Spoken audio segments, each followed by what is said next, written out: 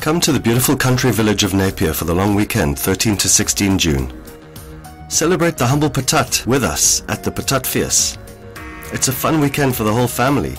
We have a half marathon, mountain bike races, live music, a potjie competition, sokkie jol, scarecrow competition, and delicious patat dishes at all the local restaurants.